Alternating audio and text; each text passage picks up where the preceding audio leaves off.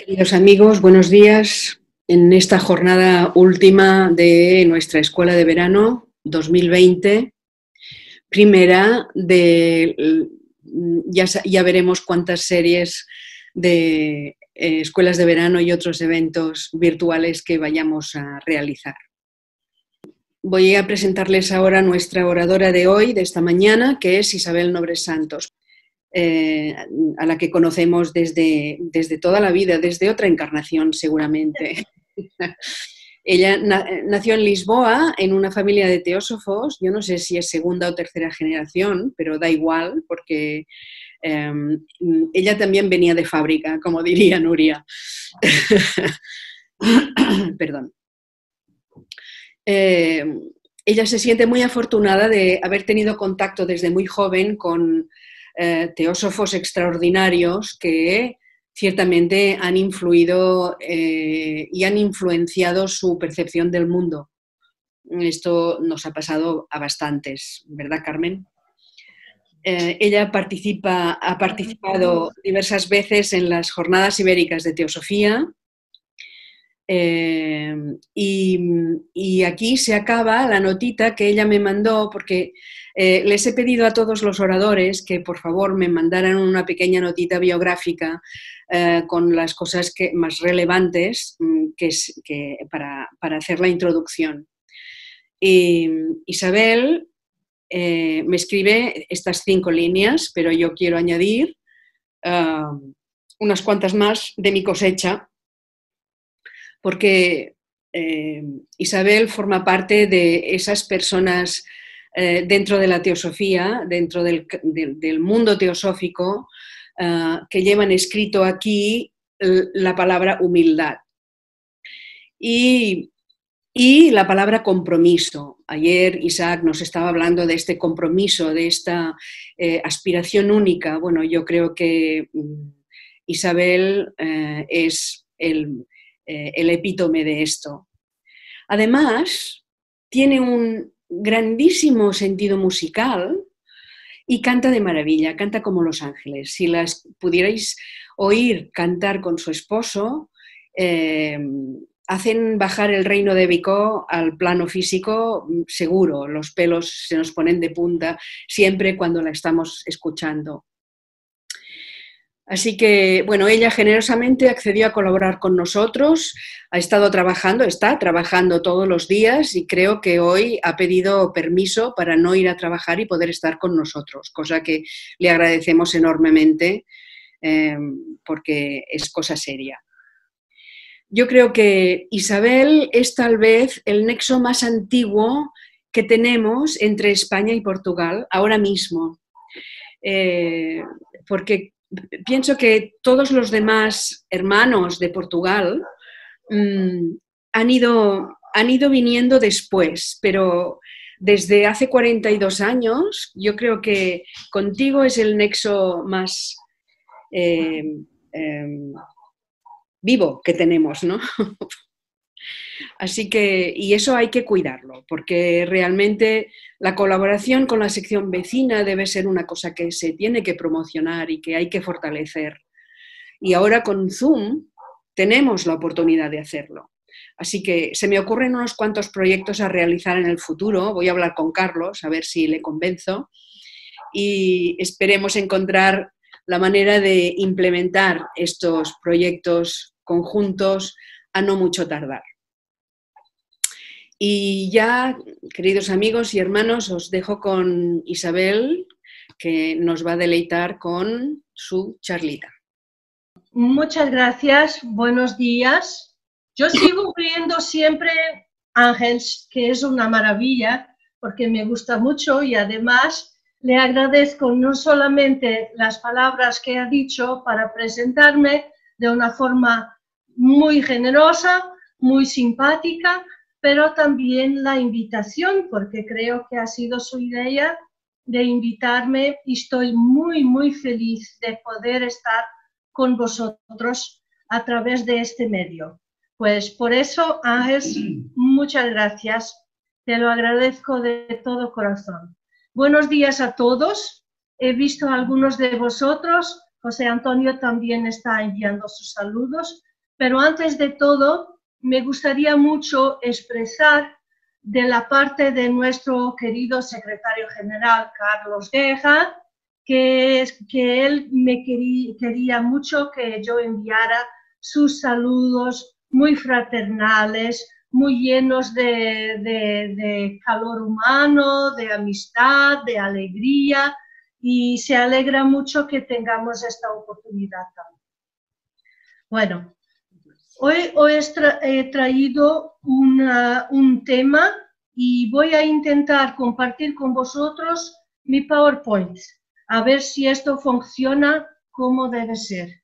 Los saludos de Carlos han sido dados, las gracias a Ángeles también. Y entonces empezamos del principio.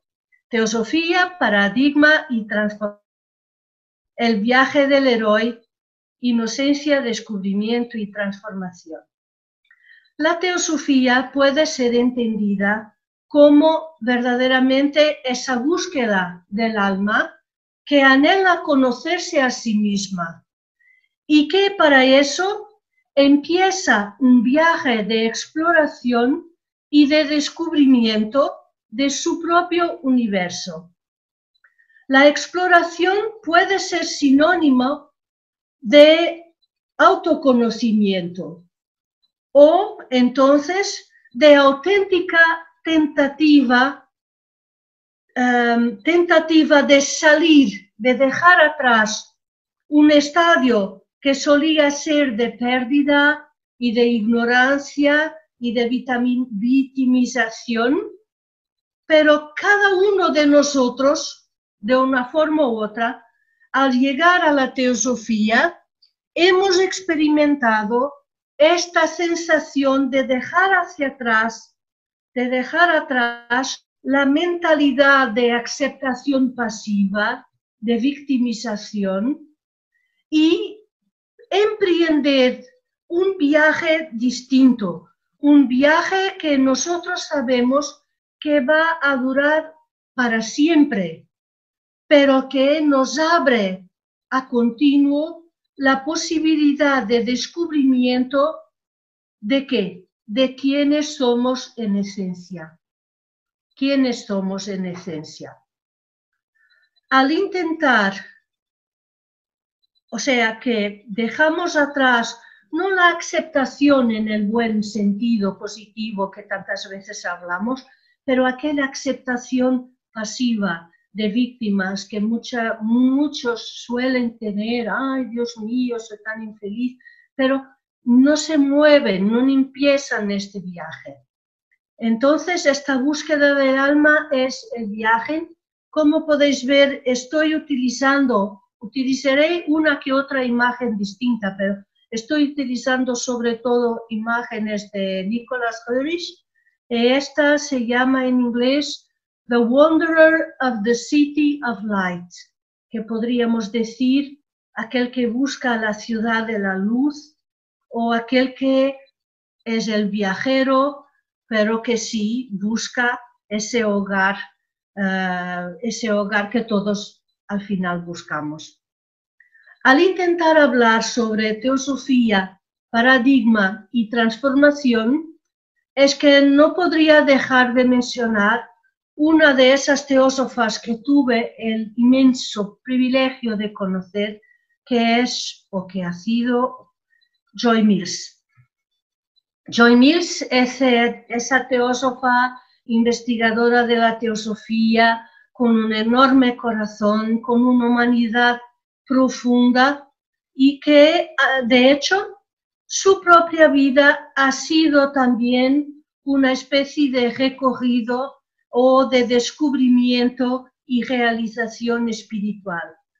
Y a ella le gustaba particularmente la cuestión del mito, la cuestión de los paradigmas, de los arquetipos, y entonces, bueno, ella ha una, en su vasta obra y los muchos libros y cursos que ha escrito, me acuerdo que ha preparado un curso que se llamaba The Myth of Our Lives, A Way to Personal Transformation, los mitos de nuestras vidas, un camino hacia la transformación personal. Y este curso era extraordinario. Tenía ejercicios preparados por ella que tanto pueden ser utilizados ah, por un individuo como por un grupo o una jama. Me acuerdo que hace unos años con José Antonio y otros miembros de la jama hemos pasado unos días como que de retiro, pero haciendo en conjunto los ejercicios de este libro de Joy Mills y escribiendo los mitos de nuestras propias vidas, haciendo todo un recorrido de descubierta gracias al material que ella había preparado y que está ligado con un libro de Carol Pearson, The Hero Within, donde Carol Pearson explora cinco arquetipos distintos a través de los cuales nosotros vivimos. En realidad yo pienso que estos seis arquetipos son un poco como la estrella de seis puntas, pero que tienen en el medio un punto séptimo y aquí con los arquetipos vamos a ver que al final del recorrido a través de los seis arquetipos llegamos al séptimo que es el primero, pero en un nivel de conciencia muy más desarrollado, muy más ah, alto que cuando habíamos empezado. Este libro de Hero Within propone una serie de estadios en nuestro desarrollo personal. La idea de Joy Mills al adaptar el libro de Carol para este curso sería de hacer o construir como que un puente entre la teoría propuesta en el libro y su adaptación para la utilización específica por teósofos, comprendiendo o entendiendo los distintos estadios como distintos niveles de desarrollo del alma.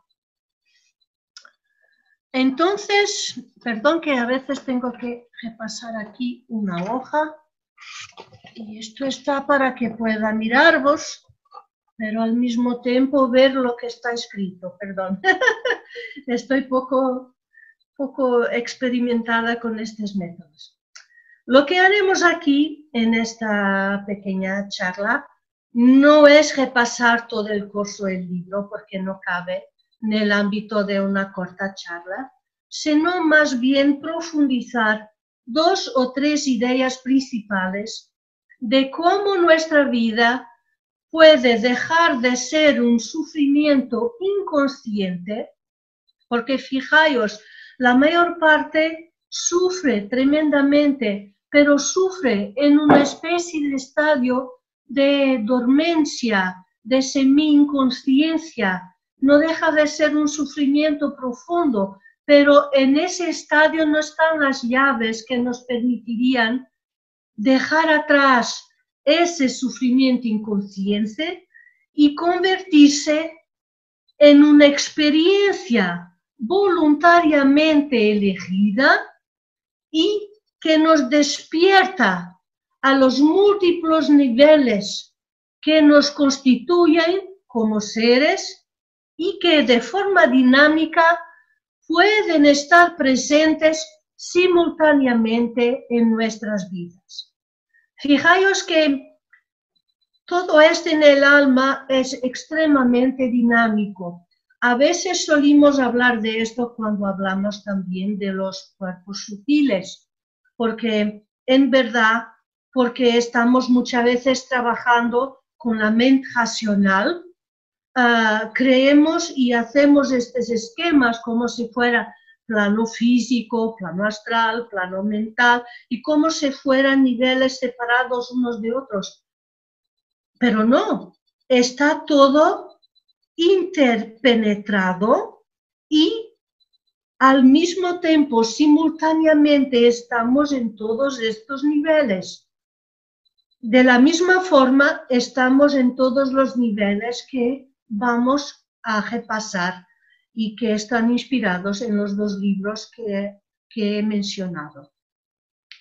Tanto Carol Pearson como Joy Mills empiezan este viaje de descubrimiento por el principio. ¿Y cuál es este principio? La naturaleza humana surge a partir de una estancia, que es el estadio que caracteriza nuestra primera infancia. Pero nuestra infancia, antes del corte abrupto que representa una súbita pérdida de la inocencia. Esta inocencia de nuestra niñez es la inocencia de quienes aún no tienen el conocimiento, no están aún sobrecargados ni con el peso del mal, ni con toda la conciencia de su propia ignorancia, pero siguiéndose a este estado primitivo de, ignorancia, de inocencia, siempre surge un momento duro, trágico, dramático, pero necesario, en el, cual se da un rasgo entre la conciencia incólume y la sensación de súbita orfandad. Mirad, he elegido esta imagen, que es una imagen verdadera, si no estoy equivocada, ha sido un niño o una niña de Siria, si no estoy equivocada, que con tantas, como diríamos en Portugal, con tantas saudades de su madre, que había muerto en la guerra, ella ha dibujado la imagen de su madre y se ha puesto en, espontáneamente en posición fetal en posición como si estuviera aún dentro de su madre. Esto lo encuentro sumamente bello y sumamente triste y he creído que no había mejor imagen para ilustrar el hecho de este rasgo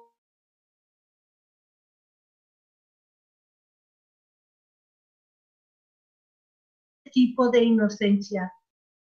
Y espontáneamente también.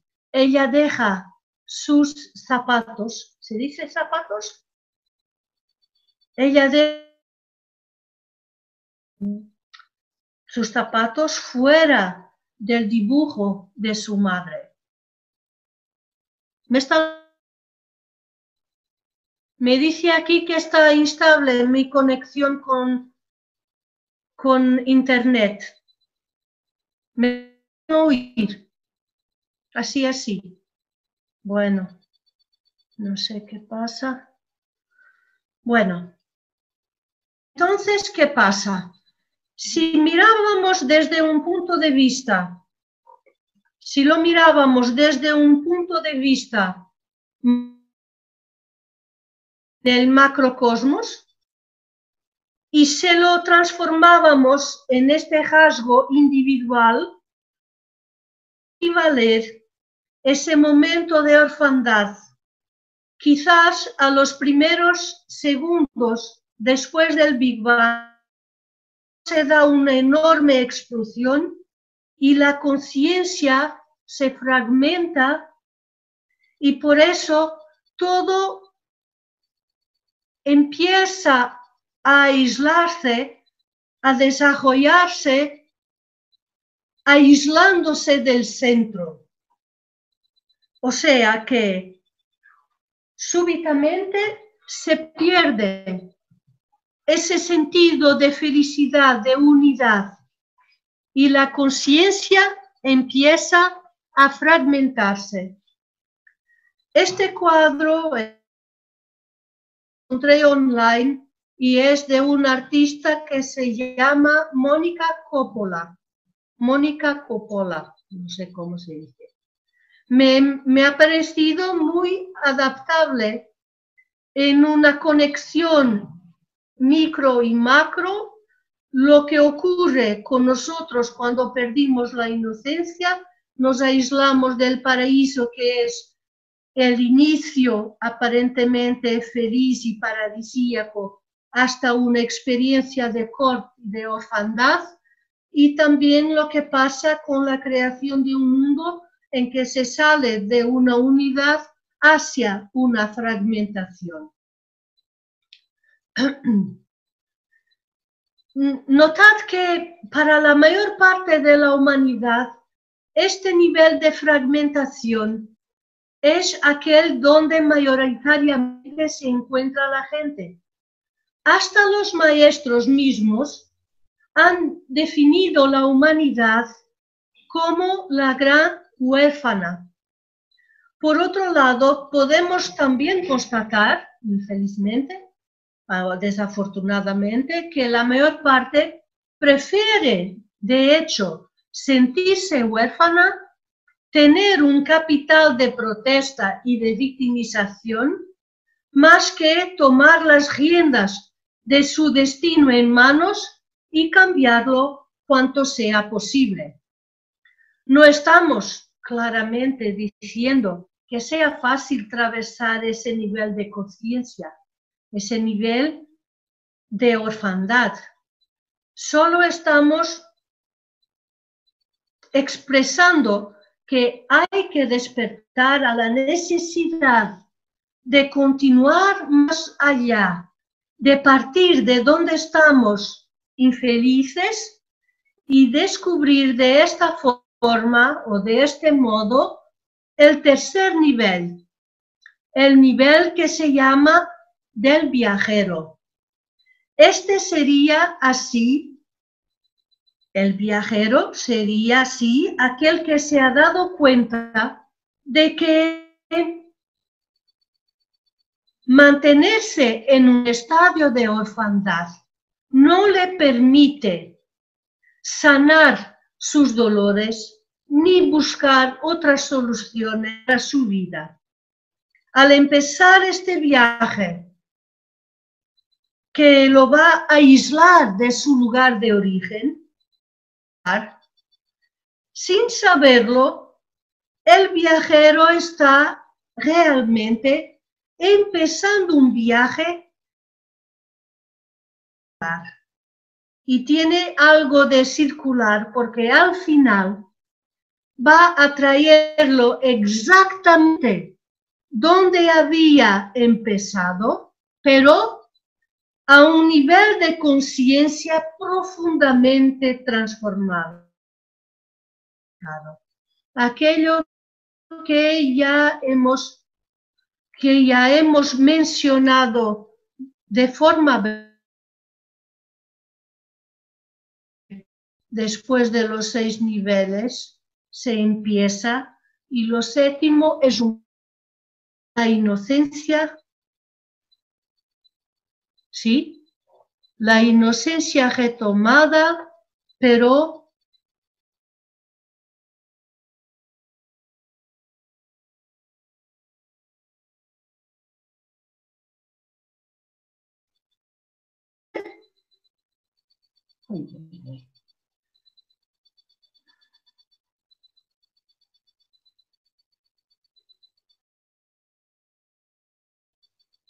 ¿No se me está oyendo?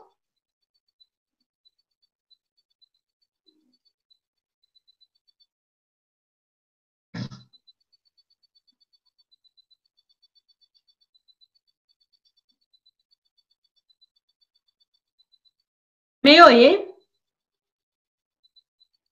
Isabel, es que se, entrecorta tu voz porque mm, probablemente debes estar o lejos del modem o el wifi mm, no tiene continuidad. Hmm. Pero hasta ahora lo habéis oído. Bueno, ahora debe hacer tres o cuatro minutitos que te hemos perdido. Ah. Hmm. ¿Crees que recomence o que vaya atrás?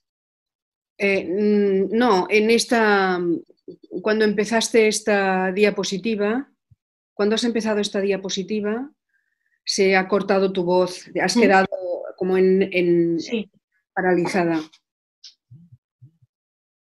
Ok. Si quieres, podría ah, ponerlo abajo y empezar de nuevo. Es demasiado complicado. No, porque ya, llevas media hora casi. Sigue, sigue. Mm.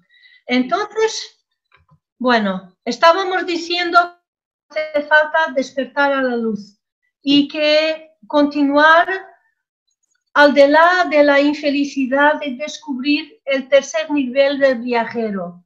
Y que este viajero se da cuenta de que no puede sanar sus dolores ni buscar para su vida si no empieza un viaje que al mismo tiempo es una cosa curiosa y paradoja, una paradoja, porque el viaje va a aislarnos de nuestro hogar, pero al final de todo el ciclo va a traernos una vez más hacia el punto de donde habíamos empezado, pero eso sí, con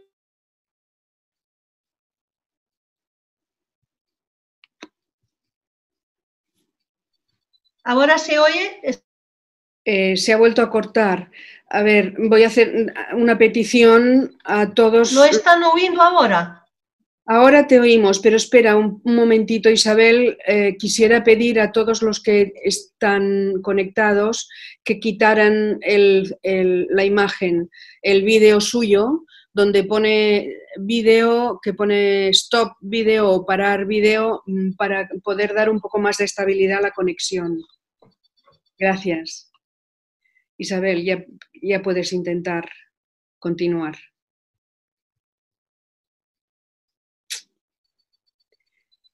Es una conexión un poco floja. A ver, Isabel, adelante. Muy bien. Bueno, ah, quizás ahora ya me podéis oír mejor. Sí. Porque aquí me dice que la internet está funcionando. Sí, bueno, entonces, pues perdón por todo esto. Mm. Y el viajero ha de transformarse también en el guerrero. ¿Cuándo? Cuando se dé cuenta, uh, perdón, cuando se dé cuenta, luchar, luchar por establecer sus verdades y conquistar un territorio suyo, donde establecer su hogar y su alma, su propia alma. Pero me gustaría decir aquí que el guerrero, aquí no se trata de un concepto violento, no es, no es un apelo a que cada uno desarrolle en su algún tipo de agresión externa, pero antes un autocontrol, un tipo de valor, un tipo de capacidad de resiliencia, una capacidad de mirar hacia sí mismo y de con, ah, que está dentro de nosotros mismos, cortar aquello que sabemos que no está bien y combatir sobre todo, sobre todo, contra nuestros propios miedos, nuestras propias fobías, nuestras propias incapacidades. O sea que el guerrero no es aquel que va a subjugar a otros, a explorar a otros, pero aquel que tiene el valor de conquistarse a sí mismo. Y hay dos otros, eh, dos otros grados, dos otros arquetipos, que son el mártir por amor y el mago por alegría. El mártir por amor, que aquí eh, me ha inspirado el imagen, una de las varias imágenes de Nicholas Horish para la Madre Divina, para la Madre del Mundo, porque es ese tipo de amor, un amor que no es posesivo, que no es exclusivista, pero como si este mismo amor fuera un flujo de energía poderosa, sanadora, una energía que se da continuamente.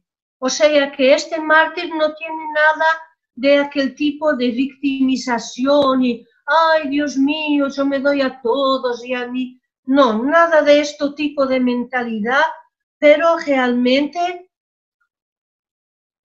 la alegría viene de darse a sí mismo.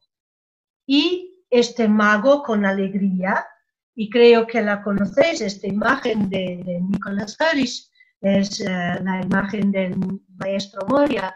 Y el maestro Moria aquí como mago, no de hocus pocus, no de, de mago de, de ilusionismo, pero ¿quién son los magos estos de que hablan Carol Pearson y Joy Mills? ¿Quién son? Bueno, son los exponentes de este viaje de exploración, que habiendo visto todo, vivido todo, sufrido y amado y reído, encuentran dentro de sus propias almas a la verdadera alegría que no tiene origen en algo externo, sino que esa alegría proviene de los más íntimos recesos del alma. A partir de ese punto de amor y de alegría, aquel que viaja entiende que tiene el poder de cambiar verdaderamente su vida y de irradiar sanación y amor. Y este, esta imagen de, de Nicolás Harris es de Krishna. ¿Quién mejor que Krishna con su flauta, con su mm, anhelo por la naturaleza, el, aire libre, eh, ese principio casi primaveril, eh, para darnos esta imagen estética de alegría, de libertad, de open air, um, de inocencia. Porque en realidad podemos irradiar sanación y amor cuando poco a poco recorremos este camino y descubrimos en nosotros esa tranquilidad, esa apertura, ese no, el opuesto del miedo, la confianza, la autoconfianza. Y el mago, en verdad, vuelve a ser el inocente. Vuelve a ser el inocente, pero es una inocencia distinta. No es ya la inocencia ignorante del niño indefenso, sino antes bien la autenticidad pura de aquel que ha experimentado todo y vuelto a su hogar en un nuevo nivel de conciencia. Y para, para este símbolo eh, elegí esta imagen de Herish que tiene un anciano, un anciano tranquilo, feliz, completo, pero del mismo modo que he elegido el anciano, habría podido elegir el joven como por ejemplo se dice del señor Sanat Kumara, que tiene siempre un aspecto como si no tuviera más que 16 años y es el más sabio, el más antiguo, el más poderoso de todos. O sea que cuando se hace todo el recorrido y que se llega de nuevo al punto donde habíamos inicialmente empezado, no hay distinción entre niñez eh, o ser anciano o ser adulto maduro, porque el estadio de conciencia se torna independiente de la forma externa de nuestro cuerpo físico. En una corta charla no será seguramente posible profundizar mucho todo lo que los dos libros citados desarrollan de una forma mucho más profunda. Pero este corto recorrido tiene como propósito abrir nuestras mentes a la posibilidad de ver todo, toda nuestra existencia, no solo como un recorrido a través de diversos niveles de conciencia, sino también posibilitar de que nos demos cuenta, pero nos demos cuenta realmente de que vivimos simultáneamente en esos distintos niveles. Es lo que decíamos antes, así muy rapidito, muy aflorando apenas, lo que decíamos antes sobre los distintos cuerpos sutiles. Todos estos niveles de conciencia son simultáneos y lo que ocurre a, medida, a paso de que vamos eh, estando conscientes en cada uno de ellos, es que empezamos a despertar y a estar activos en estos distintos niveles. Estoy hablando de dos cosas distintas. Estoy hablando de los distintos ah, cuerpos sutiles que cuando se van activando simultáneamente están presentes y pueden ser activados.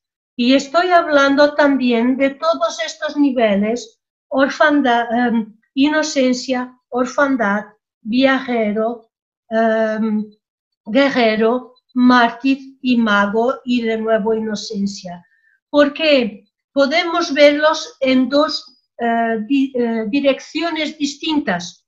Están presentes horizontalmente, de forma cronológica en nuestra vida, hasta que nos volvamos en el mago y podamos vivirlos verticalmente, no olvidando que empezamos por la inocencia, la orfandad y, el viaje, pero construyendo una conciencia íntegra e integrada donde la cruz está presente y deja de serlo solo horizontal, pero verticalmente, de una forma vivida.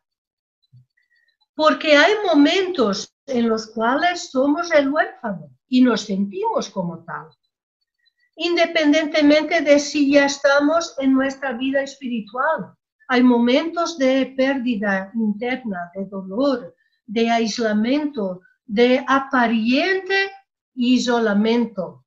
Y entonces somos el huérfano. Pero luego, luego encontramos energía y valor para dejar una situación mala y emprender ese viaje de transformación. Para dejotar nuestros miedos y fobías, podemos tener necesidad de cambiarnos a nosotros mismos en un guerrero con valor, pero nunca sin compasión. Y claro que las luchas más formidables que alguna vez podamos luchar son aquellas que ocurren dentro de nosotros mismos, y cuando por amor nos sacrificamos vivenciando, estamos vivenciando, este era el, guerrero, el guerrero con valor, pero no sin compasión. Pero cuando nos sacrificamos con alegría, estamos vivenciando el arquetipo del mártir y debemos estar atentos para no dejar mezclar de ninguna forma en este arquetipo las características típicas de la victimización. Y cuando finalmente descubrimos que somos realmente coautores de nuestra vida, que estamos responsables y además debemos de tomar las, eh, debemos de asumir esa responsabilidad por nuestras vidas, nace en nuestro corazón el mago que va a transformar nuestro destino y llevarnos hacia una forma superior de conciencia y de inocencia. Y mirad, aquí en otra imagen de, de lo que tenemos es un santo, una persona iluminada, y me interesa desde un punto de vista simbólico, porque la persona ha hecho todo el recorrido y entonces está como que en un punto elevado. Desde ahí no ha perdido contacto con la realidad dura del día a día odierno de todos los demás. Pero desde ese punto tiene, por un lado, una cierta tranquilidad, no sin compasión, no sin amor, no sin interés, con un profundo interés, con profunda pasión por los otros, pero asimismo enviando su bendición, no perdiendo su tranquilidad para mejor poder ayudar a aquellos que están en profundo desespero, en profunda orfandad. Hoy hay mucho sufrimiento en el mundo. Serían necesarios quizás muchísimos magos que pudieran transmutar sufrimiento en alegría. Del mismo modo, para llegar a este nivel, es necesario no ignorar, nunca, jamás ignorar la importancia fundamental de todos los otros niveles. Todo empieza al final con ese instante único de dolor, que es la primera pérdida de inocencia. Pero todo llegará un día al surgimiento de una conciencia completa, iluminada, inclusiva, en que micro y macro se unen y establecen un puente entre el origen del ser y todas sus criaturas. Y este punto entre micro y macro, eh, en, el, en, el, curso de Joy Mills, recogido de los distintos estadios, y al final, en un pequeño anexo, eh, hay una página solamente con la súmula de los principios de la doctrina secreta de Blavatsky. Y hay la tentativa de que al recoger todo ese percurso que es sumamente psicológico, muy individualista, muy mítico, al mismo tiempo esos teósofos o, aspirantes o quienes lean y practiquen ese libro puedan también, también em, descubrir el nexo entre eso y el macro. O sea que cuando estamos haciendo este percurso individual, estamos viviendo un mito que nos lleva directamente a las proposiciones fundamentales de la doctrina secreta. La teosofía puede ser como un mapa en el cual no están escritos los caminos que tendremos que recoger, pues esos caminos somos nosotros mismos que tendremos que construirlos, crearlos en nosotros mismos y en nuestro destino, cuando tomamos las riendas de nuestro destino en manos y empezamos a avanzar como coautores de nuestro destino. Pero sí, puede existir un mapa con señales e indicaciones y que todo y cualquier estudiante atento, lleno de valor, podrá descubrir. Hay por veces algunos que dicen, pues todo este es un percurso muy individual, nadie puede transmitir su verdadera experiencia a un otro. Ok, es verdad, yo no puedo encapsular lo que he podido vivir como experiencias reales y transmitirlas, eh, transferirlas a otro para que ese otro súbitamente ah, pueda tener la misma experiencia real de los caminos que yo he percorrido. Pero lo que sí podemos hacer, como no estamos aislados, como hacemos parte de una unidad, cada uno de nosotros recoge su propio camino. pero existen sí mapas que pueden señalar alguna que otra indicación. Y cuando cada uno de, de nosotros comparte con los demás las experiencias que ha tenido, estamos dejando indicaciones y señales. No van a sustituir el trabajo del otro. No van sobre todo poder imponerse como verdad a nadie más, pero sí pueden ser útiles. La comparación de estos pasos en el camino, porque nosotros también estamos en colectivo, también podemos compartir, no estamos solos. Y lo que uno descubre y otro descubre y otro descubre es muy útil. Necesario será que entendamos que el mago no es aquí una figura que se plantea desde un punto de vista egoísta, centrado en sí mismo, queriendo impresionar a los demás y obtener algo, sino aquel en quien el ego no tenga más el poder de herir, y el guerrero interior no combata o combata sobre todo sus propios miedos. La magia de este mago reside sobre todo en su mente iluminada, que le muestra que, le muestra que solo él es responsable de su destino y que sus capacidades deben ser aplicadas en beneficio de todos los seres. Bueno, estábamos hablando del mapa de la teosofía y del mago que tiene verdaderamente que ser alguien que mm, ya no consigue herir los otros y intentar sacar ventaja.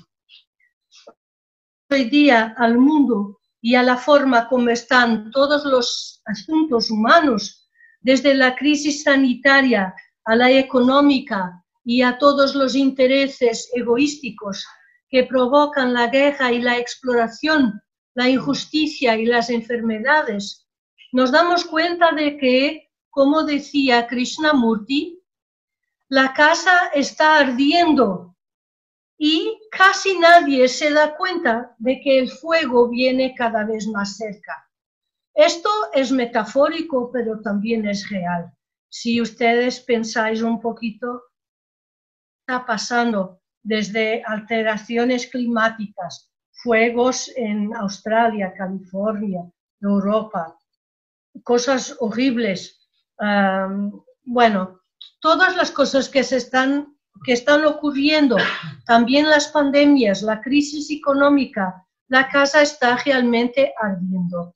Quizás el despertar de un mayor número de seres humanos pudiera ayudar a invertir el curso de los eventos y atraer más alegría, justicia y paz al mundo y a todos los seres que habitan la Tierra. Pero incluso esa toma de conciencia implica poder, en primer lugar, reconocer nuestra pérdida de inocencia, y también los estadios de orfandad que hemos atravesado. La necesidad de emprender ese viaje de búsqueda, buscar en nosotros el valor de un guerrero pacífico, el amor del mártir sin la victimización, la alegría del mago que a todos ayuda y no, obstante parece que no está haciendo nada. O quizás empleemos este lenguaje de una forma puramente simbólica, todo este viaje ocurriendo dentro, dentro de nuestras almas y nosotros siempre sencillamente como todos los otros, amando y creciendo en un gran colectivo humano y de todos los seres que habitan la tierra. Es verdad que la teosofía abre nuestros ojos hacia este lenguaje simbólico. Pero también puede libertarnos de todos los símbolos, libertarnos de la necesidad de un tipo de lenguaje, de un código. También puede simplemente posibilitarnos ser y respirar con una nueva inocencia, fruto de nuestro viaje en nosotros mismos. Y con eso termina el PowerPoint y la charla. Paz a todos los seres. Muchísimas gracias. Muchísimas gracias Isabel por esta exposición tan bonita, tan maravillosa, a pesar de que haya sido a trompicones. Eh, pero bueno, estas son, eh, son los inconvenientes del directo, ¿verdad? A veces.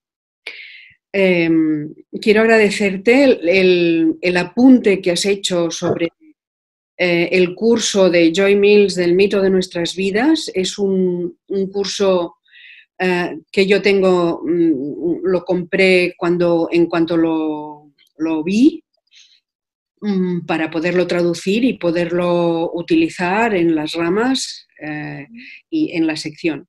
Así que, bueno, mm, ya lo pongo a la cola porque eh, son tantas las cosas que uno tiene que poner al día que, eh, bueno, me, faltan horas. El día tendría que tener 30 horas y entonces tal vez se podría hacer un poco más de lo que se hace, ¿no? Em, me parece interesante la propuesta y me gustaría mucho poder mm, comentar más contigo después en privado cómo hicisteis este estudio y, cómo, fue y, un poco de feedback, ¿no? Mm, porque, bueno, me parece un, tema muy, muy interesante e importante. Eh, todo lo que has apuntado, mm, espero que todo el mundo haya tomado buena nota mm, de los tres personajes.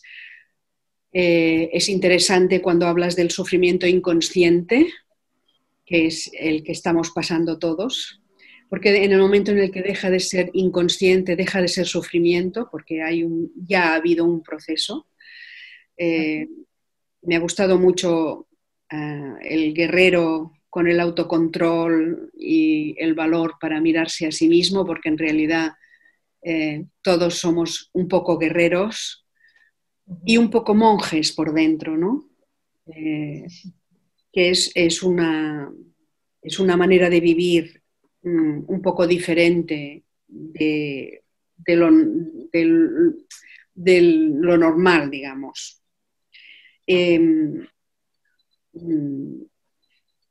Me ha gustado porque has dado pautas muy prácticas para todos en un lenguaje muy sencillo, nada, nada alambicado y nada elaborado todo el mundo ha podido entender muy bien todo lo que has dicho.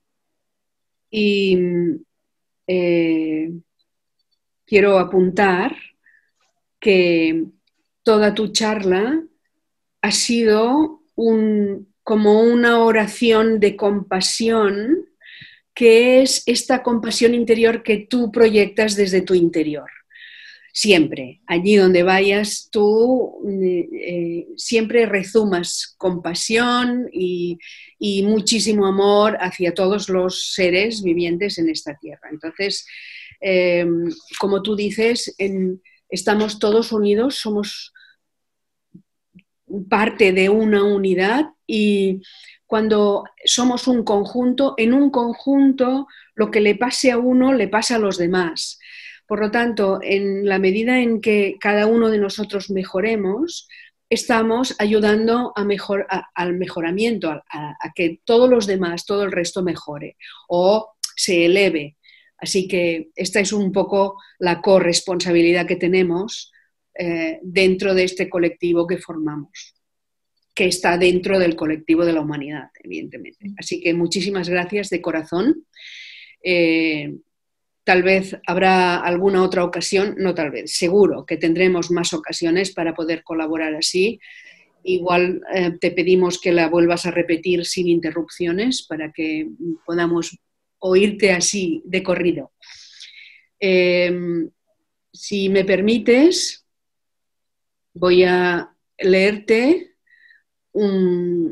eh, lo que nos ha ido enviando eh, las personas que han estado escuchando. Y, por ejemplo, hay un mensaje de Amaya que dice, gracias Isabel, si estamos en un estado de fragmentación y el Big Bang está en expansión, nos estaríamos separando cada vez más y o como el tiempo no es lineal, ¿dónde estaríamos? ¿O cómo lo entiendes tú? Esta sería la primera pregunta para ti. ¿Y ahora hablo? Ahora hablas. Ah, sí, sí, sí. Ahora contestas. muy bien. Bueno, es una cuestión muy interesante porque yo creo que el estadio humano eh, es el estadio donde todo lo que ha sido creado en el momento del Big Bang eh, se da cuenta eh, de su individualidad. Y por lo tanto, aunque estemos por, por el momento aún fragmentados, estamos quizás empezando el camino de regreso al origen. Y entonces no vamos a continuar infinitamente aislándonos, sino que cuando llegamos al máximo que puede ser nuestra individualidad, descubrimos primero la soledad, y esa es una forma de orfandad, pero luego, luego descubrimos que al final no, no somos huérfanos y no estamos solos. Y entonces hay como que el principio de aquello que será un día el Big Crunch, o sea que empezamos a desarrollar la compasión en vez del egoísmo y a una vez más volvernos hacia unos, unos hacia los otros y a trabajar en conjunto. Y entonces es el camino de ascensión en que los muchos se unen y consiguen construir cada vez algo mayor y más bello y más organizado. No sé si esto va al, encuentro de, la cuestión de Amaya, pero es una forma posible y claro, solo eso daría para toda una charla, ¿no? Claro. Mira, hay otra, mm, un comentario de Miguel Martínez eh, que dice, Isabel, nos estás hablando del viaje de la conciencia hacia lo trascendente. Hmm. Hay mucho temor hacia lo desconocido. ¿Cuál crees que puede ser el punto de apoyo para lograr dar los pasos hacia ese cambio de la mente, hacia ese segundo nacimiento? ¿Quién ha preguntado esto? Miguel Martínez. Miguel, ah. Miguel de Miguel de Paz, muy bien. Ah, ¿Cuál puede ser el punto de apoyo, de apoyo? Yo creo que al principio de ese viaje nos sentimos muy flacos y muy vulnerables. Y em, creo que el primer punto de apoyo es precisamente aceptar, no pasivamente, pero aceptar nuestra vulnerabilidad, nuestra inocencia, nuestra el hecho de que aparentemente no tenemos ningún punto de apoyo. Eso es el primer punto de apoyo, porque cuando nos percatamos de que no hay nada, súbitamente va a surgir una protección, un instinto, algo importante que nos va a posibilitar encontrar un hilo, una pista, un mapa y a decir, bueno, al final yo creía que estaba aquí sola, pero no es así. Y por lo tanto creo que eso sería el primer punto de apoyo. Y no sé si esto contesta completamente a Miguel, pero quería añadir, porque me ha dicho aquí José Antonio, que también está participando, eh, sobre la cuestión anterior, que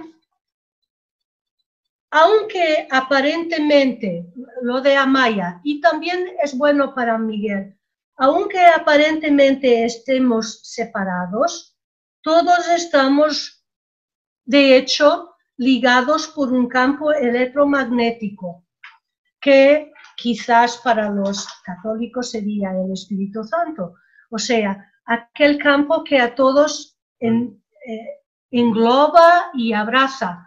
Y por lo tanto, ese también sí podría ser un punto de apoyo. Claro que presupone que creamos que existe ese punto de apoyo. Gracias. Mira, ahora eh, José Luis pregunta, dice, ¿este viaje debería comenzar en algunos casos con la recuperación del niño interior que fuimos y que posee o puede poseer un gran material a tener en cuenta? Sí, sí, sí. Pues creo que fue por eso que varias veces a lo largo de la charla he mencionado que debemos ah, no solo reconocer, pero honrar y, y acariñar hasta los momentos difíciles de orfandad. Ese niño sea el niño primitivo, feliz, inocente, sea el niño destrozado Ah, y quebrado por el dolor de la separación, de una muerte de alguien, de la descubierta de algo que le quita la inocencia, ese niño tiene que ser amado y recuperado.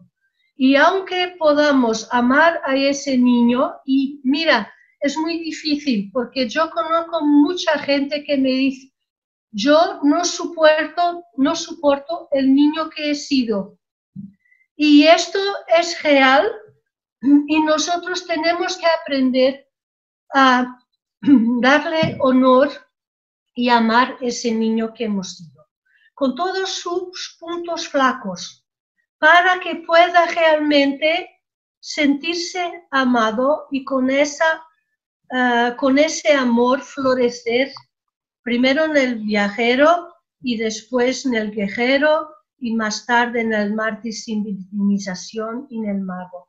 Y el mago vuelve a ser el niño, porque el mago tiene sentido de humor, capacidad de jugar, eh, le gusta a veces hacer una broma. El mago recupera, pero de una forma iluminada y quizás también un poco sensata, todo aquel potencial del niño. Gracias. Eh, Jesús Iglesias pregunta, ¿podrías darnos consejos o pautas para vivir simultáneamente los distintos niveles de conciencia? Hmm. Eso es muy... Eh, yo, yo, no soy, yo no soy el mago para dar pautas, pero entiendo muy bien la cuestión porque es una cuestión que yo también trabajo. Mira, no creo que no creo que haya alguien que pueda dar pautas para vivir simultáneamente todos los niveles, porque creo que en algún caso los distintos niveles no están todos aún despiertos o alternativamente no están aún despiertos al mismo nivel de intensidad. O sea que las pautas para esto son las pautas normales de la teosofía, que pueden seguir dos caminos como dice José Antonio, puede ser el camino de Krishnamurti que es abrupto, pero a través de la atención. Pero hay otro camino para quienes no están aún en el punto de poder transformarse así de un instante.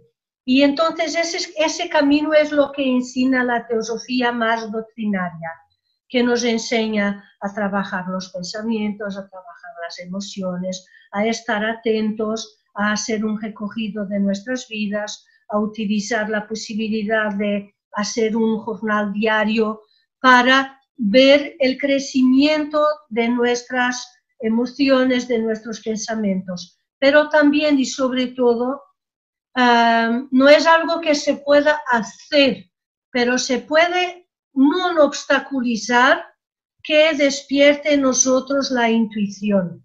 Y la intuición va a ayudar mucho, no solo al despertar en los distintos niveles, pero también en tener ese fio de prumo vertical que consigue reunir lo que antes era fragmentación horizontal y darle como que un destino, una intencionalidad, un, propósito, un sentido, ¿ok? Y entonces hay que en cada momento de nuestras vidas, siempre que nos acordamos, hacer esta tentativa de despertar a los distintos niveles y hacer más en cada uno de ellos. Por ejemplo, es evidente que la mayor parte de la humanidad no está muy despierta al nivel búdico y étnico, pero hay pasos que pueden darse cuando uno ya está eh, anhelando recoger el camino para desarrollar esos principios. Y esos cuerpos sutiles o esos arquetipos más elevados, por ejemplo, del mártir con amor y del mago con alegría, eh, están presentes como si fuera una pedra por lapidar. Y cada vez que nos permitimos a nosotros sentir verdadero amor, sentir verdadera alegría, libertar nuestro verdadero ser, a simplificar nuestra vida personal, estamos a hacer vibrar y a lapidar esa parte de nosotros. Pero yo no soy el mago, por eso no sé si esto ayuda, quizás con más cuestiones es más fácil tornar más práctico. Gracias. Mira, mm, Alejandro pregunta, ¿qué es lo que desencadena en el niño la pérdida de la inocencia y la sensación súbita de orfandad? Bueno, puede, en cada uno de nosotros tendrás seguramente toda especie de causas. Ah, puede ser un niño que es feliz, y que súbitamente, por ejemplo, su vida familiar cambia, él sale de su hogar para ir en un otro sitio, hoy hay una separación, una muerte, y eso con el niño va a quebrar aquella sensación paradisíaca y aquella confianza, sobre todo la confianza que tenía. Con otros de nosotros puede ser precisamente una quebra de confianza. Fíjate, por ejemplo, nosotros en la teosofía, que hemos sido niñas teósofas de familias teósofas, nosotras hemos nacido en una especie de paraíso y estábamos convencidas que en la teosofía toda la gente lo hacía muy bien, decía la verdad y tenía siempre principios altísimos, muy inspirados, muy verdaderos.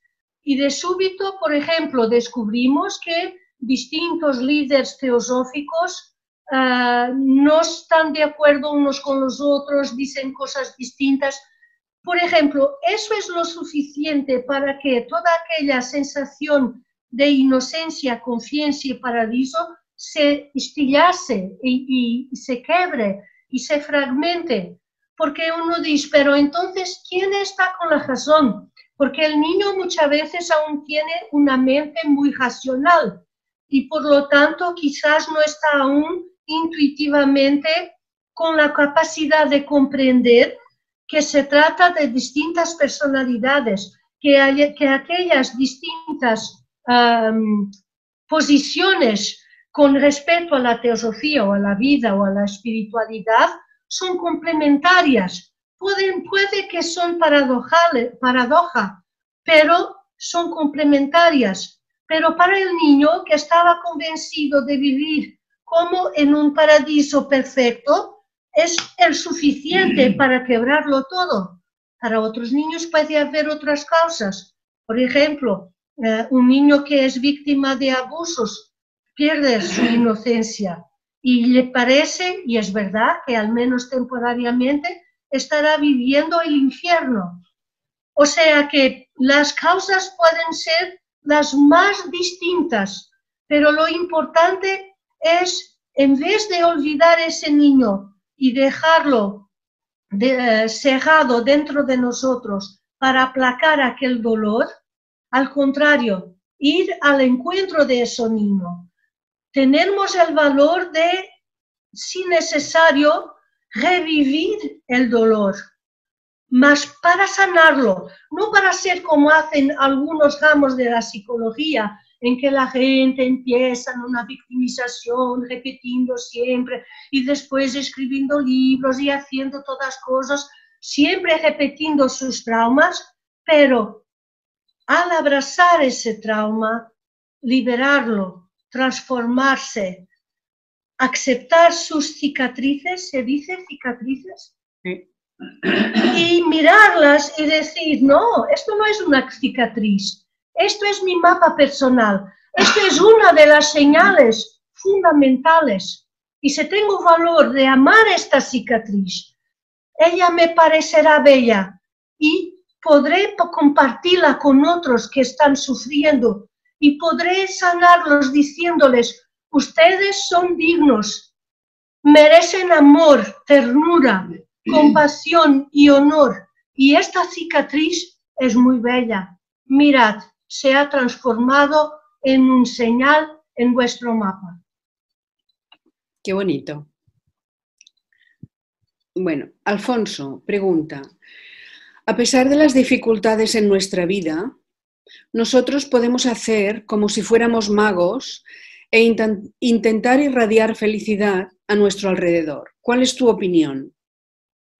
Estoy de acuerdo desde que esa eh, felicidad venga desde dentro, porque a veces lo que acontece eh, es que aún estamos, y como te digo, muchas veces en la vida estaremos huérfanos, porque de tiempos a tiempos surge algo ¡ah! y, quedamos sin raíces. Puede ser un gran disgusto, una cosa de salud, alguien que perdemos que que es parte de nosotros mismos, quizás nuestra mejor mitad. Y entonces tenemos dos hipótesis. Podríamos intentar uh, irradiar felicidad, pero si no viene desde dentro, es falso. Y entonces no funciona. Pero ¿cómo puede funcionar?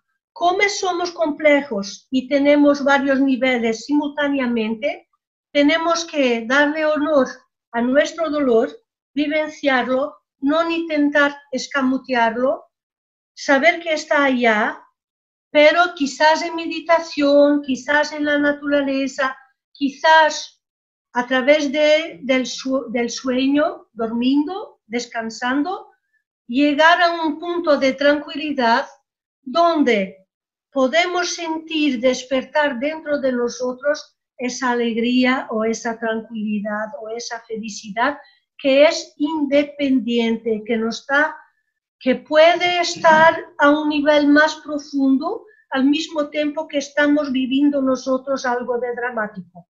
Y entonces, si, si además del nivel horizontal fragmentado, tenemos esa postura vertical sintetizadora y que vive todos estos niveles, entonces, sin dejar de eh, de, reconocer nuestro dolor del momento, podemos llegar a dejar el flujo de felicidad hacia los demás.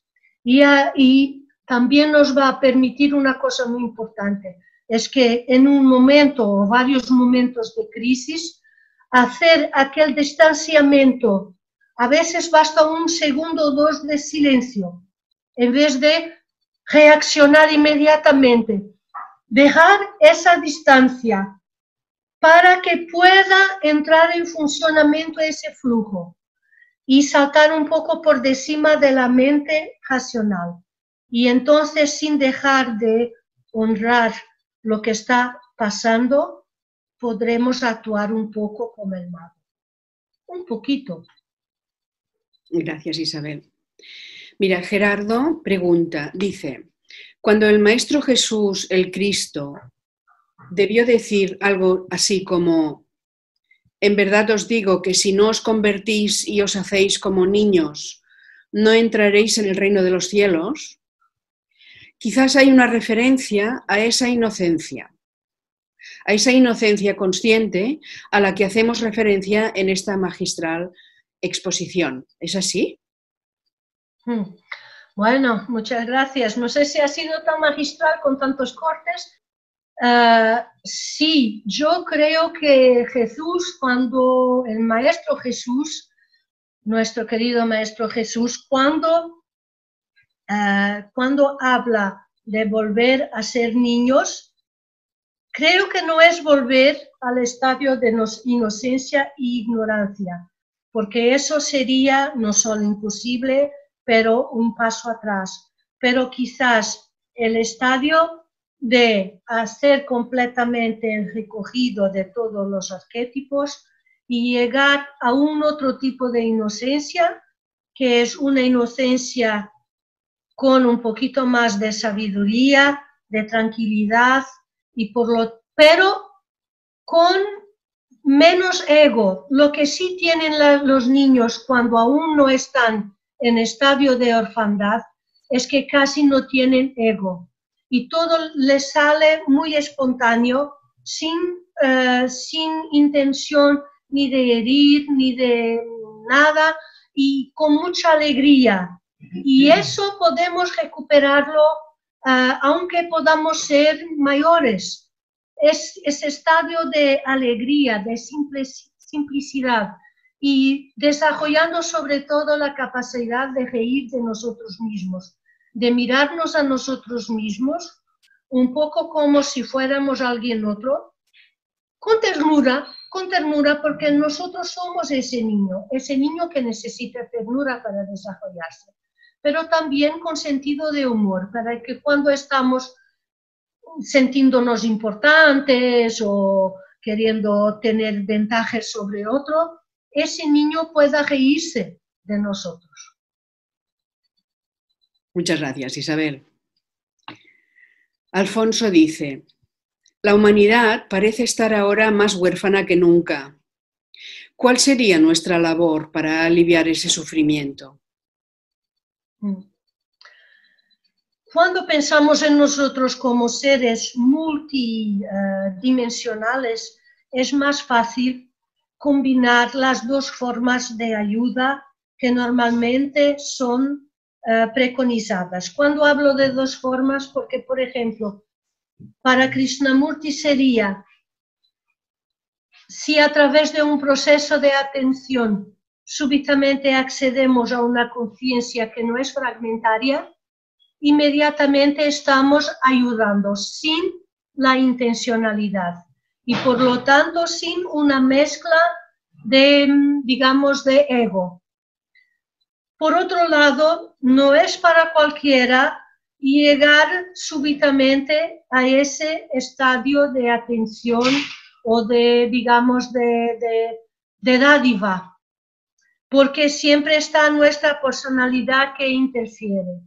Entonces hay un otro camino que es aquel camino que la teosofía enseña, enseña y que lleva más tiempo. No es el camino instantáneo de la Advaita Vedanta o de Krishnamurti o del budismo Zen, es un camino que es construido.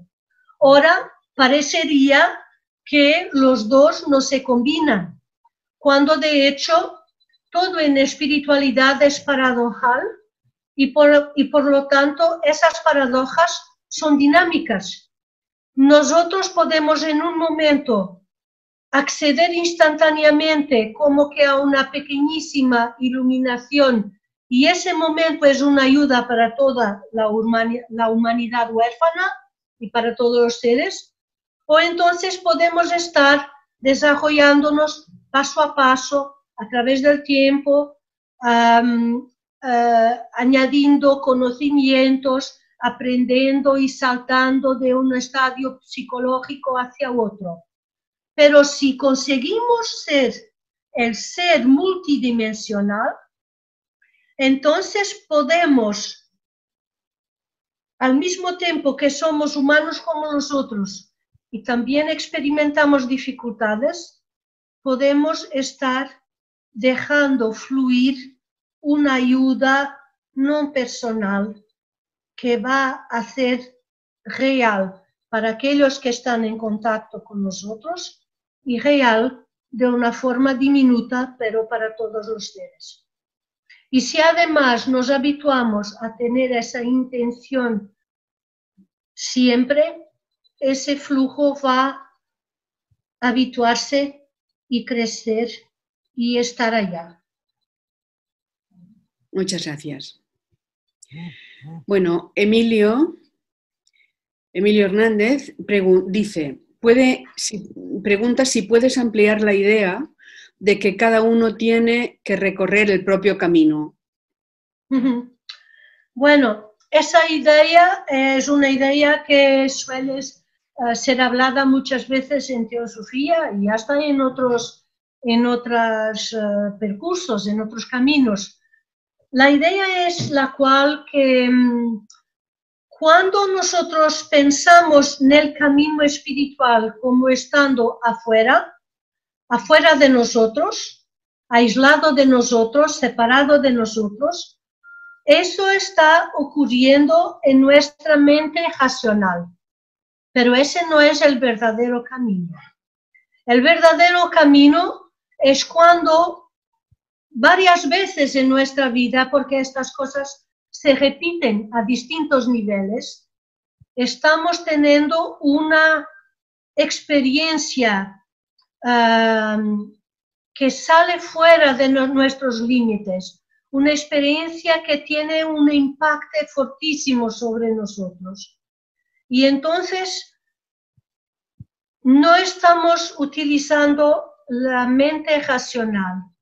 Estamos profundamente impactados por aquello que está ocurriendo realmente en nuestras vidas. Y entonces, por un fugaz momento, comprendemos que aquello que está ocurriendo y nosotros es uno, uno. Y en aquel momento comprendemos, eso es el camino yo soy el camino. Y que desde que tuve conciencia de ser yo en esta personalidad, es como si hubiera empezado un viaje y este viaje, y fíjate, es como tener un tren y tú has entrado, has subido al tren, estás en el tren. Al largo de este viaje hay varias personas que están contigo en este tren. Unas entran, otras salen, unas hacen todo el viaje contigo y otros hacen trocitos del viaje. Al principio, tú aún con tu mente racional piensas que esto es separado, pero a un dado momento tú entiendes, tú eres el tren, tú eres la personalidad que ha subido en el tren y tú eres el paisaje que está afuera del tren. Y esto ha sido siempre así y continuará siempre a ser así. Hasta que tengas al menos una o dos o tres veces esta experiencia tan distinta y tan fuerte, que el camino es tú mismo y que tú mismo es el camino, y que es realmente lo que se pasa en ti a los distintos niveles que está constantemente creando un nuevo camino, no estás en ese camino. O sea, este es el camino. Está ocurriendo a cada momento, pero solo empieza efectivamente en términos fértiles, psicológica y espiritualmente y humanamente, cuando tienes esos impactos que te muestran, ah, al final, todo esto que está ocurriendo es mi conciencia, todo este viaje es mi conciencia, estoy yo misma viajando, estoy yo misma estableciendo este recorrido. Eso no quiere decir que los otros no existen, por eso digo, es posible comunicar, no estamos solos, no hay que sentir soledad. Gracias. De Mari Carmen César dice, ¿de dónde podemos sacar fuerzas para afrontar las dificultades en este camino? Muy buena cuestión. una, una que, tengo que, que replantearme todos los días. Yo creo que la fuerza vendrá cuando desistimos de obtenerla. Yo creo que la fuerza viene del mismo punto de donde viene la alegría que no tiene origen, el amor que no tiene origen, la felicidad que no tiene origen. Y cuando estamos imaginándonos separados, intentando tener fuerza o sacarla de algún punto, ella no va a venir. Claro, podrá venir en términos limitados, humanos, psicológicos. Podremos tomar un compuesto vitamínico, eh, comer mejor, reposar y luego encontrar valor para afrontar una cantidad de dificultades. Pero yo creo que es en ese momento donde nos dejamos ser el niño indefenso, que la verdadera fuerza puede surgir. Cuando aceptamos nuestra vulnerabilidad, cuando aceptamos que somos finitos, cuando aceptamos que no tenemos ninguna fuerza, ella viene de dentro, no sabemos de dónde, pero está allá. Y alguna vez que otras personas me han dicho, ay, hoy no voy al servicio de sanación porque estoy con poca energía y entonces tengo miedo a quedar más cansado. Esto no tiene ningún sentido, porque nosotros tenemos que tener la humildad y el conocimiento de que ninguna fuerza viene de nosotros, ningún amor viene de nuestras personalidades. La personalidad es apenas aquel, aquel que trabajamos para conseguir finalmente abrir, abrir una fuente en nosotros mismos que permita que independientemente de nuestra poca fuerza, de nuestra total falta de amor, de nuestra total falta de todo, independientemente de nuestro ego y de nuestra personalidad, súbitamente, fui de dentro de nosotros algo que nos ultrapasa completamente y entonces sí viene la fuerza. Y entonces podemos estar al final de nuestra vida, podemos estar cansadísimos, podemos estar pobres, podemos estar sin medios, pero esa fuerza viene y conseguimos ir más allá como tantas personas que estaban en campos de concentración, en sitios indescriptibles. ¿Y dónde sacaban la fuerza? Simplemente abrían algo en sí mismos que les permitía que esa fuerza llegara. No somos nunca nosotros el origen, ni de la sanación, ni de la cura, ni de nada.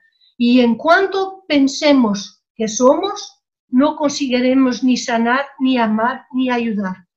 Pero cuando entendamos que no somos nada, entonces abrimos una puerta y algo puede utilizarlos. Muchas gracias, Isabel. A ver, eh, Luis Masdeu dice, ¿crees que es realmente posible el viaje iniciático totalmente comprometido manteniendo nuestras vidas cotidianas con todas las ataduras que eso implica? Y si es posible, ¿qué debe ser lo prioritario? Hmm, una pregunta muy interesante. Ah, como, en todo, como en todas las otras cosas, hay dos versiones. Tienes el Krishnamurti diciendo iniciaciones para qué, lo que queda hacer es llegar a ese punto de conciencia y energía en que something other, algo otro está ahí. Pero una vez más, no toda la gente consigue y muchos hay que dicen, pues sí, Krishnamurti ha llegado ahí porque ya había hecho muchas otras cosas antes que le permitieran empezar en un nivel ya muy próximo de la iluminación total. Entonces, para los otros, los que creen en un camino doctrinario, místico, de, digamos, en que seguimos un determinado camino, sí, entonces con esos hay cosas que podemos hacer, o por lo menos hay cosas que debemos liberar para no obstaculizar. Pero asimismo creo que hay que entender la iniciación no necesariamente como solo lo que viene en los libros, los grandes iniciados, pero como todas nuestras vidas son una sucesión eh, permanente de pequeñas iniciaciones. ¿Cuándo ocurren estas iniciaciones? Cada vez que tienes una eh, ampliación de tu conciencia. ¿Qué podemos hacer en nuestra vida para hacer un recorrido de compromiso con esta intención? Al principio estamos nosotros y ponemos la intención y hacemos ese recorrido y vamos aprendiendo y vamos creciendo y vamos añadiendo mucho aquello que habíamos sido como personalidad antes de empezar. Pero de súbito, cuando llegan aquellos momentos, aquellos momentos en que nos percatamos que somos nosotros mismos el camino, dejamos un poquito de preocupar con la cuestión de iniciación porque no hay otro camino. Si somos nosotros el camino, no hay cómo perder el camino. Si cada día es una iniciación, no hay por qué estar preocupado, porque estar preocupado aún es algo del ego. Es el ego que quiere pensar, ay, yo quería aproximarme de la iniciación, ¿qué voy a hacer para conseguir llegar allá?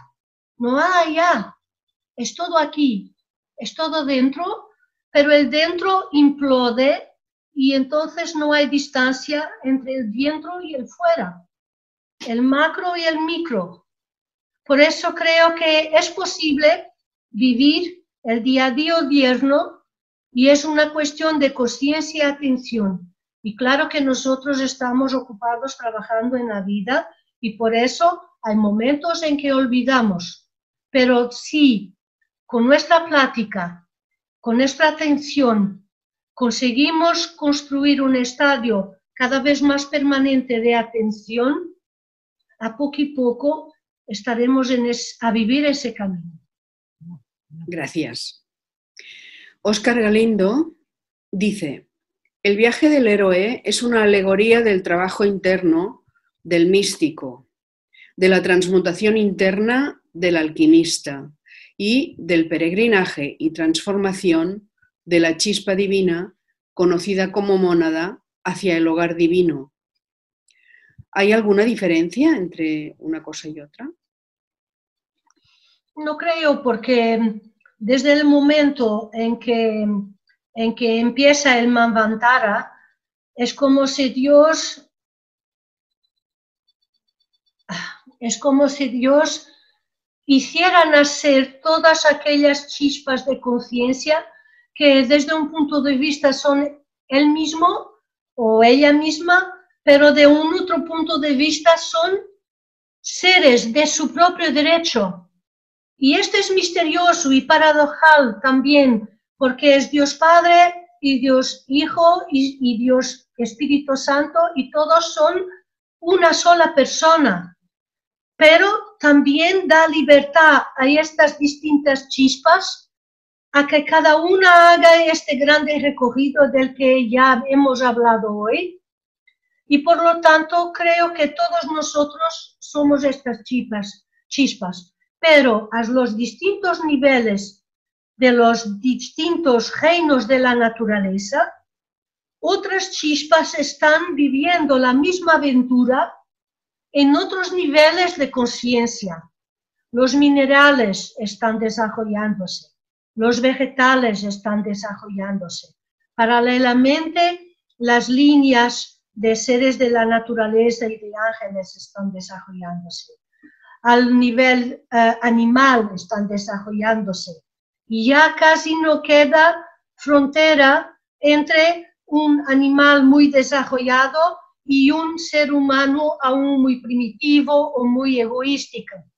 O sea que todos es como si fuera, imaginar, por ejemplo, una sinfonía magnífica y cósmica, todo armónico, cada uno cantando su propia aria, pero todo, todo con armonía y melodía y ritmo, todo palpitando, todo resonando. y cada uno chispa evoluyendo y desarrollándose. Y nosotros al nivel de conciencia haciendo como que un espejo para Dios, para que se vea reflejado en estas conciencias individuales que por primera vez son capaces de autocuestionamiento y de mirar al cielo y de mirar a la tierra y de mirar a sí mismos. Muchas gracias. Magdalena Padillo pregunta, ¿cómo se puede ayudar a alguien que está en una gran crisis y sin embargo no entiende nada de todo esto?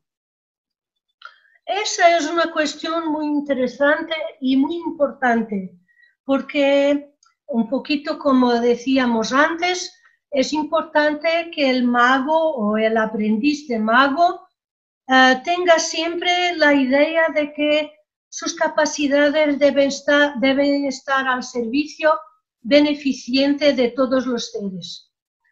Muchas veces hay personas que tienen buena intención y se aproximan de quienes están sufriendo y lloran con ellos. No está mal. Cualquier uno de nosotros puede quedar muy emocionado cuando sentimos profundamente el sufrimiento de un otro o de varios otros que se trate de humanos o que se trate de otros reinos de la naturaleza. En sí mismo, si estamos vibrando a distintos niveles, aunque sea sentar y llorar con el otro es una ayuda, pero si estamos vibrando solo en nuestra personalidad, muchas veces lo que ocurre es que estamos viviendo nuestra orfandad, nuestra victimización y estamos ecuando el sufrimiento del otro y quizás aumentando los sufrimientos de los dos. Por eso es tan importante vivir a los distintos niveles. Si conseguimos vivir a los distintos niveles, o sea que lloremos o sea que no lloremos, quizás no llorar es mejor, pero no siempre conseguimos, porque también tenemos sentimientos. Si conseguimos mirar al otro, centrar a su lado, intentar entender su dolor y su miedo por sus ojos, porque muchas veces yo creo que yo como teósofa caigo repetidas veces en un problema. Es que yo creo que algunas personas no, em, no entienden ni sienten la compasión porque como me planteo desde un nivel distinto, quizás les parezca, les parezca que no consigo comprender su punto de vista. Por ejemplo, si estás con alguien que no acredita en nada, que no tiene ningún tipo de fe y que está aterrorizado con su propia mortalidad, no sirve para nada llegar con no sé cuántas palestras teosóficas, porque esa persona solo va a cegarse sobre sí misma y además va a eh, considerar que tú no tienes ninguna consideración por su verdadero sufrimiento. En esos casos creo que tenemos que optar simplemente por acompañarle con mucho cariño y en silencio. Y quizás si sabemos hacerlo, hacer un trabajo espiritual sin interferir con la libertad de esa otra persona, pero irradiando sanación irradiando amor y comprensión. Pero si intentamos interferir, esa persona no va a comprender.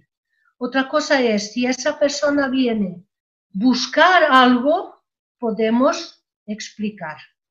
Explicar y entonces quizás esa persona esté ya pronta para saber más, pero nunca forzar. No sé si... Sí, sí, sí, muchas gracias. Em, a ver. Mm, Nuria pregunta, ¿buscar a nuestro mago es volver a la Isis maga? ¿A, Isis la maga? Yo creo que el mago, la maga es la misma cosa y que nosotros al interior tenemos todo. Tenemos todo el cielo y todos los arquetipos.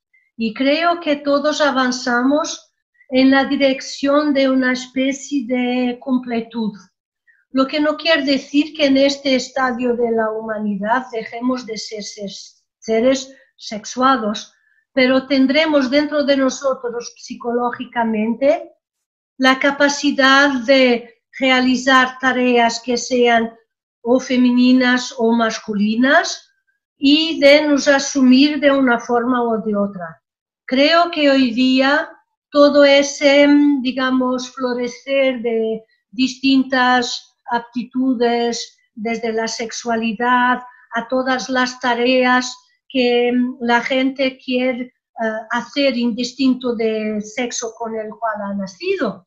en el mundo donde hay libertad para hacer esto, porque como sabéis, hay muchos rincones del mundo donde las mujeres no son libres, los que quieren expresar otro tipo de sexualidad son perseguidos o hasta muertos, y por lo tanto esto no es una libertad generalizada, pero lo que me parece es que desde un punto de vista espiritual empezamos a ser el andrógino, no en el sentido de no tener capacidad de individualizar en nosotros el femenino y el masculino, pero en un sentido de completud. Y es bueno que podamos desarrollar todas las capacidades distintas de hombre y mujer. Psicológicamente no tenemos miedo y no nos condenamos a un solo papel en esta vida. Gracias. Mira, José Luis dice, cada héroe tiene su villano. ¿Sería suficiente como ejemplo trabajar el Raja Yoga? ¿O habría que hacer un buen trabajo psicológico de base para ordenar nuestra casa, como diría Krishnamurti? Yo creo que todo puede ser útil y que el mayor villano está siempre dentro de nosotros. Además, siempre ha habido, por ejemplo, en eh, distintos tipos de iniciaciones o hasta durante el bardo de los tibetanos, dicen que en el momento de la muerte se ven las divindades y también los, eh, los seres malos, los diablos o lo que sea. Y por lo tanto, nosotros tenemos que también ahí recuperar la inocencia del niño que es capaz de mirar al bueno y al malo sin, sin quedar con miedo, y su inocencia y su pureza son de tal forma fuertes que sea el divino, sea el menos que divino, no tengamos miedo, miedo. Y eso siempre es, hablado como derrotar al guardiano del umbral pero ese guardiano del umbral nosotros lo hemos construido. Y por eso sí, creo que tiene razón que tanto el trabajo psicológico profundo, pero siempre acompañado de la parte espiritual, porque creo que hay muchas secciones del trabajo espiritual que del trabajo psicológico que si no nos planteamos desde un punto de vista teosófico nos pueden aislar porque hay mucho trabajo con psicólogos y psiquiatras que en realidad nos lleva para cada vez más victimización o entonces empola el ego en vez de tornarlo transparente. Muy bien. Eh, hay una, última pregunta que es de Alfonso y después una petición. Eh, Alfonso dice, nos damos cuenta fugazmente de que somos eso, con mayúscula, pero luego no lo podemos retener por mucho tiempo. ¿Cuál es la receta para conseguirlo? Además de las dos que sigo siempre repitiendo, yo creo que tiene mucho que ver con cuando estás eh, enamorado de algo, eso hace parte de ti de una forma cada vez más permanente. Si estás enamorado de seres tú mismo el camino, eh, como decía antes, hay momentos del día a día odierno en que estás completamente olvidado de tu, de tu esencia, por varias razones, porque estás sob presión, porque existe estrés, porque estás trabajando, porque te llaman de distintos sitios y tienes que dar, contestar a todo aquello. Pero si estás trabajando de una forma seguida a lo largo de años, estás construyendo una segunda naturaleza. Y esta segunda naturaleza es de forma a surgir cada vez más. Por veces estás distraído, pero luego te acuerdas de tu esencia y repones la tranquilidad y el eje vertical. Y cada vez que te reequilibras, vuelve a ser más fácil volver más rápidamente a este eje. Y claro que estaremos, o al menos yo estoy muy lejos de perfección en este ámbito y en todos, pero empieza a hacer parte de tu vida de tal forma que hasta durante los sueños tú revertes a esa naturaleza. Es un poco como, dicen los budistas, para los budistas sería muy importante, en cualquier fase de la vida en que empecemos, trabajar para aprender a morir todos los días. Aprender a morir no desde un punto de vista siniestro, pero antes desde un punto de vista de grande alegría y liberación liberación de algunas cosas materiales, liberación de nosotros mismos, liberación de eh, trazos psicológicos. Y esa, esa preparación también es hecha así, día a día. Y muchas veces lo olvidas, pero a poco a poco hace parte de tu, eh, de tu segunda naturaleza. Y eso es muy importante al momento de morir y es muy importante al momento de vivir. Muchas gracias, Isabel. Mira, hay eh, muchísimos agradecimientos eh, que han pasado por el chat y hay un comentario que dice, Isabel me emociona mucho porque habla muy sencillo y se comprende muy bien y te da las gracias. Y después hay una petición para poder volver a ver esa foto tan conmovedora de la niña siria que es, dibuja a su mamá en el suelo. Ah. ¿Puedes, ¿Puede compartir? Voy a intentar compartir. Yo creo que había cerrado mi PowerPoint. No, puedes compartir, Isabel. Mm, pero tendría que... Ah, espera. Voy a salir de la tela llena. Voy a abrir el PowerPoint. Ah, quedad conmigo un ratito apenas. Esto no es. Cuando la tengas tienes que ir abajo. sí, sí, sí, sí, sí. Mm, un ratito apenas. Sí, estoy. Eso ha sido, creo, no fue al final, fue... Ha entrado una última pregunta. Mientras buscas esto, lo vas pensando. Dice, ¿qué es más, es, de María Jesús Gallastegui. Dice, ¿qué es más urgente en el camino? ¿Adquirir la sabiduría por medio del intelecto o sanar las cicatrices del alma? Ah, ¿Puedes, por favor, repetir? ¿Qué es más urgente en el camino? ¿Adquirir la sabiduría por medio del intelecto o sanar las cicatrices del alma primero? Hmm. Yo creo que no hay una sin otra. Yo creo que no hay una sin otra. Perdón. Déjame solo que... Ok. ¿Ya, ¿Ya podéis verlo? Sí, sí, sí, se ve perfectamente. Sanar el alma es algo que es necesario, pero cuando empieza realmente es solo cuando ya estamos también haciendo el que recogido del camino.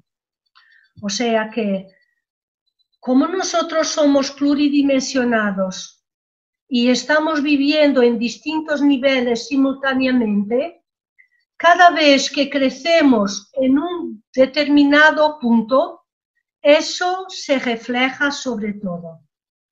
No es posible crecer sin sanar hasta cierto punto el alma. Y no es posible sanar el alma sin hacer ese recorrido. Por eso yo creo que los dos van, los dos eh, en conjunto. Pero es una cuestión muy interesante. Muy bien, pues creo que hasta aquí, bueno, esta es la imagen eh, que nos han solicitado. Y eh, hasta aquí nos has deleitado con tu charla tan, tan interesante y tan profunda. Así que, bueno, espero realmente que podamos eh, seguir mm, trabajando juntos. Este año pasado, eh, debido a las circunstancias de la pandemia, tuvimos que suspender las jornadas ibéricas, pero ahora mm, estaban entrando también mensajes diciendo hay que recuperar las jornadas ibéricas por Zoom ya, eh, en septiembre o en octubre o en noviembre o cuando sea, porque ya no tenemos que esperar a que sea mm, una fecha determinada. Lo, vamos a, lo vamos a trabajar, vamos a estar en contacto para poder organizar realmente eh, eh, intercambios más, mm, más no solo una vez al año, sino más, más veces. Eh, Isabel, muchísimas gracias por estar con nosotros. Realmente te agradezco de todo corazón eh, tu intervención. Ha sido muy emotiva y ha salido, eh, nos ha llegado al alma a todos. Quiero pensar que estoy interpretando el sentir de todos. muchas gracias y hasta muy pronto. Muchas gracias a ustedes todos perdonad los pequeños uh, precalzos tecnológicos y estoy con mucha fe que Jaquel Jiménez consiga enmendarlo un poquito. Seguro que... Saludos de Carlos, saludos de José Antonio, saludos de todos nosotros. Quedad en paz. Por favor, eh, los saludos de todos nosotros con mucho cariño para todos los hermanos de la sección eh, portuguesa y especialmente para Carlos, Ana María, José Antonio y todos los que estáis ahí llevando el barco a buen puerto. Muchas gracias.